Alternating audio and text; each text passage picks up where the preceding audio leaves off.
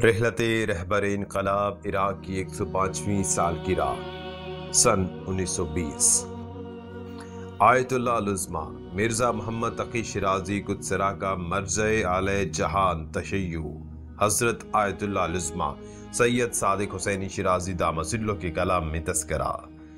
आलम मुजाहिद हाद शेख मिर्ज़ा मोहम्मद तकी शराजी 1920 ईस्वी में इनकलाब ममलिकत इराक का रहबर, इराकी मुसलमान लोगों की रहबरी के अलावा बरतानवी बहुत बड़ी फितना अंगेज इस्तामार को भी इस्लामी इराक से बाहर निकाला।